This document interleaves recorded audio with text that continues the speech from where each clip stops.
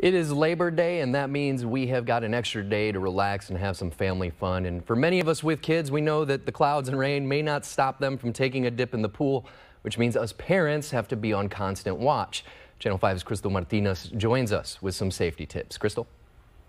Well, good afternoon. So, when you hear about a child drowning, you normally think of it happening at a beach or even a large public pool just like this one. However, we're told that's not always the case.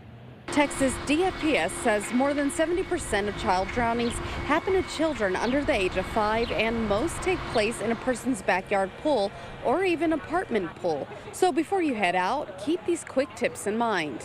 Never leave a kid alone around water, and that's not just for outside, but inside your home as well. Completely remove the pool cover when the pool's in use, and in the case of an emergency, it's best to learn CPR.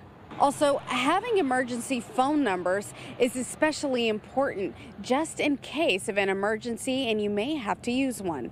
Crystal Martinez, Channel 5 News.